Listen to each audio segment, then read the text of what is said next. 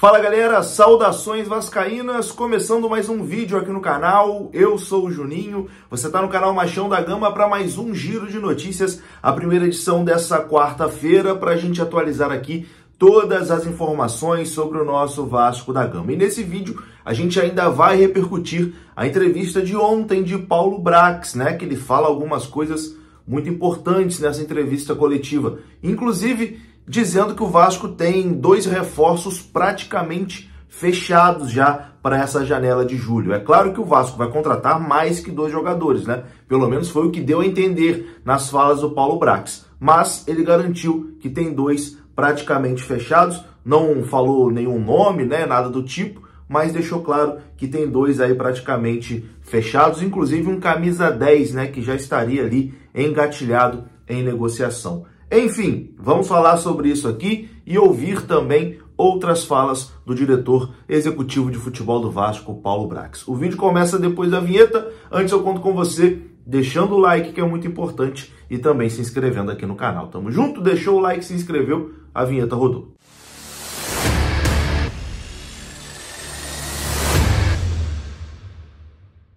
Então bora lá meus amigos, começando mais um vídeo e começo falando aqui da Mais Ágil. Você que quer adiantar as parcelas do seu FGTS, você pode procurar a Mais Ágil no link que está aqui na descrição desse vídeo. Você clica, é direcionado ao WhatsApp da Mais Ágil e lá você vai ser muito bem atendido. Se você trabalhou de carteira assinada, você pode ter uma graninha presa lá no seu FGTS e a Mais Ágil te ajuda a resgatar, né, a adiantar o saque do seu FGTS. Mais ágil, parceira aqui do canal Machão da Gama. Bom, meus amigos, ontem tivemos entrevista coletiva do diretor executivo de futebol do Vasco, Paulo Brax. Muita cobrança, né? Muita pressão em cima de Paulo Brax, muita pressão em cima de Maurício Barbieri, muita pressão em cima de todo mundo no Vasco por conta da péssima colocação do Vasco no Campeonato Brasileiro e das atuações muito ruins, né, do Vasco no Campeonato Brasileiro. Ficou evidente a falha na montagem do elenco e está evidente também que o trabalho do Barbieri está num caminho muito esquisito. E Paulo Brax falou sobre tudo isso, né? Primeiro ele garantiu que existe muita cobrança interna no Vasco. Existe cobrança em cima dele, existe cobrança em cima do Barbieri, em cima do Luiz Melo, em cima de todo mundo. Tá todo mundo sendo cobrado. Jogadores também, evidentemente. Confira o que disse Paulo Brax. A resposta é dentro de campo, a resposta é no próximo jogo. A resposta ela tem que acontecer assim que a bola rolar na próxima segunda-feira. Não posso analisar só o nosso próximo adversário, que é o nosso rival, e que a gente tem uma gana ainda maior de ganhar pela história do clube, por tudo que representa. Nós já ganhamos esse ano, inclusive. Mas eu estou aqui para fazer análise dos oito jogos e dos próximos 30 jogos. Acho que é o momento de, de conversar com o torcedor. É o momento de, de, de se aproximar do torcedor para ele entender o que está acontecendo aqui dentro. Porque o torcedor vê os jogos. Ele não vê os treinos, ele não vê o nosso dia a dia, ele não vê os vídeos que a gente faz, as conversas que a gente tem, as cobranças que a gente faz. E tem cobrança aqui, e muita cobrança e muita cobrança. Eu me cobro, eu cobro Abel, eu cobro Barbieri, eu cobro os jogadores, o Barbieri cobra os jogadores, os jogadores se cobram. E a gente está no momento de cobrança. E cobrança é inerente ao futebol. É, faz parte do nosso papel, faz parte do nosso dia a dia. É, a gente quer entregar mais. A gente vai entregar mais. Eu só discordo que a gente não foi competitivo nos oito jogos. Você não falou isso, eu sei. Porque a gente competiu sim. Contra o Atlético, contra o Palmeiras, contra o Fluminense, apesar do barulho que foi feito de, de posse de bola, etc. De certa forma, contra o Curitiba, contra o São Paulo, contra o Santos. A gente competiu da forma que a gente queria competir, mas os resultados não vieram. Os resultados não vieram. Então, o que a gente tem buscado muito aqui é manter o que tem de bom e tem coisas boas sendo feitas e mudar o que deu errado.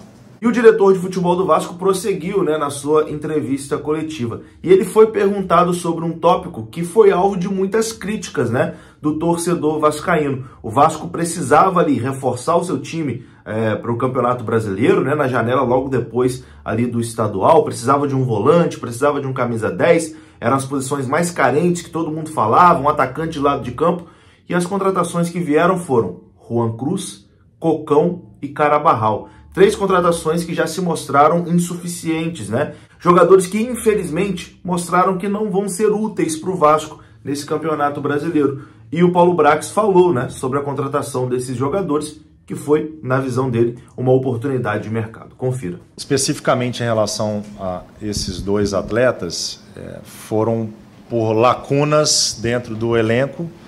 A do Matheus foi pela lesão do Patrick Luca, que foi talvez o primeiro reforço nosso para essa nova temporada e infelizmente teve uma lesão muito séria e a gente precisou repor dentro de uma possibilidade de mercado e com as condições que se tinha para fazer aquela contratação naquele prazo. E também o empréstimo do, do Gabriel Carabarral, que foi praticamente a nossa última contratação antes de fechar a janela, de um atleta que tem uma característica que a gente não conseguiu encontrar nos atletas dentro do nosso elenco. Então essa avaliação foi feita e principalmente com a saída do Nenê, que era um atleta dentro do elenco, que tinha uma bola parada muito boa, a gente trouxe o, uma peça que tem essa valência. Tá? Então, justificando essas duas contratações. E sim, todas as contratações tiveram esses processos observados, todas elas. E já que o assunto é reforço, Paulo Brax também falou sobre isso. Né? Ele foi perguntado sobre os reforços para a próxima janela e essa foi a resposta dele. Vou trabalhar com o que, o que me for oficializado. Tem uma pequena reserva que não foi usada financeira da primeira janela dentro do orçamento que foi aprovado, que é uma reserva que não nos permite fazer grandes movimentos. Fizemos a nossa reivindicação para que haja uma possibilidade de investimento maior, mas eu não tenho essa resposta positiva para te dar agora. E a gente vai fazer os movimentos que forem necessários para qualificar o elenco dentro do espaço e dentro do limite que nos for passado por quem é responsável pela pasta. Que ainda bem que não sou eu, porque seria uma outra responsabilidade trabalhar com a parte financeira, com fluxo de caixa, com investimento, com outras contas a pagar no clube, e tem várias. Então a minha parte é uma parte que eu tenho passos dentro desse processo que eu respeito e vou continuar respeitando e que a gente vai trabalhar dessa forma, sempre com muito profissionalismo e dentro do processo que me foi passado. Paulo Brax também deixou claro na sua entrevista coletiva que o Vasco está negociando com o camisa 10, um, um meia, né, um meia de criação, um jogador de um nível mais alto, um jogador mais pesado, né, que chegaria para vestir a camisa e ser titular. Ele não quis revelar o nome, né? E disse até que se esse nome vazar é capaz da negociação atrapalhar, que a intenção dele é chegar, entregar a camisa e apresentar esse jogador. Seria um jogador que chegaria para mudar, né, o patamar do time do Vasco. Então, ele confirma que tem negociação com um camisa 10, né, com um, um meia, um, um, jogador de mais peso, isso na, nas próprias palavras, né, do Paulo Brax, e confirma também que o elenco tem lacunas que já foram identificadas para o Vasco também fazer essas contratações. Confira. Então é uma lacuna do elenco? É. Nós vamos buscar completar essa lacuna? Vamos e já estamos. E ainda bem que não vazou um nome que, eu, que a gente está conversando e que não pode vazar, porque se vazar não vem, que seria entregar. Então eu não vou fazer cortina de fumaça, eu não vou soltar isso em off, eu não vou dizer que a gente vai trazer um camisa 10 de peso que eu tô... Não vou fazer isso porque pode não vir. Não depende só de mim. Não depende só da minha caneta para trazer. Mas o que eu te garanto é que o esforço, novamente, incansável para trazer essa peça, vai acontecer. Vai acontecer. Então nós não vamos fazer passos maiores que as pernas. Eu vou no meu limite de reivindicação da parte financeira e pessoas competentes e profissionais analisam esse pedido e me devolvem. As lacunas no elenco, Diego e, e torcida do Vasco principalmente, a gente já identificou, a gente concorda e a gente está trabalhando para corrigir o quanto antes. E para finalizar, Paulo Brax também disse que o Vasco já tem dois reforços praticamente fechados, né? Dois jogadores que já estão praticamente contratados. Ele não quis citar o nome né, de nenhum é, desses jogadores, não quis falar quem são esses jogadores. Um, bem provavelmente, é o Serginho, que a gente já, já trouxe aqui, né? Já meio que vazou que o Vasco tem um pré-contrato com o jogador Serginho, apesar do Paulo Brax não ter citado o nome. Um desses jogadores deve ser o Serginho e o outro a gente realmente não sabe. Talvez seja o Campuzano, que é do mesmo time do Serginho, que o Vasco também tem interesse. Enfim, a gente não sabe. Mas o Paulo Brax disse que o Vasco tem aí dois jogadores praticamente contratados. Confira. A gente tem, sim, jogador já contratado para a próxima janela. A gente tem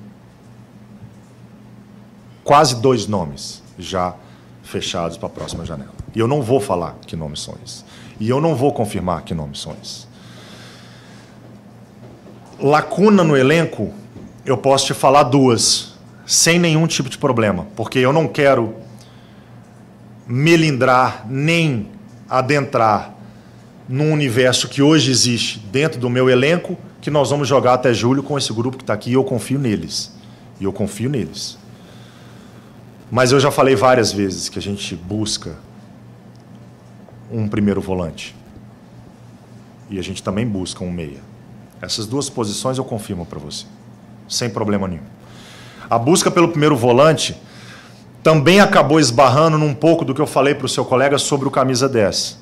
A gente mirou alto, porque a gente entendia e entende que é uma posição extremamente importante dentro do esquema de jogo da comissão técnica. E a gente acabou buscando soluções paulatinas, soluções que vieram não só deste elenco, mas de peças, para que isso fosse superada a não vinda desse jogador. Quando tem a oportunidade de trazer o Andrei de volta, a gente entende que a gente ocupa momentaneamente essa lacuna, que é a posição, inclusive, que hoje ele está jogando no, no Mundial Sub-20, com a seleção brasileira como capitão. Então, essas duas posições eu passo para você sem problema nenhum, que são posições que a gente está ativamente no mercado, já estava antes uma a gente acabou tirando um pouco o pé depois que a gente fechou a situação do Andrei, mas a outra a gente não tirou o pé desde então. E a gente pretende ter esses jogadores aqui na próxima janela. Fa vamos fazer de tudo dentro do planejado, dentro do orçamento, dentro da aprovação desses três setores para trazer esse jogador. Então tá aí, né? Esse foi o diretor de futebol do Vasco da Gama. Trouxe aqui mais alguns pontos né, da entrevista coletiva do Paulo Brax de ontem, que foi bastante esclarecedora para a gente ter uma noção de como o Vasco vai se comportar na próxima janela de transferências. Vou ficando por aqui. Se você gostou do vídeo, deixa o like, que é muito importante. Se inscreva aqui no canal. Saudações vascaínas. E antes de eu ir embora, ó, aqui no comentário fixado tem o link da 1xBet, que é parceira aqui do canal Machão da Gama. Inclusive tem bônus que está ali no comentário fixado. Tamo junto. Saudações, até a próxima. Fui.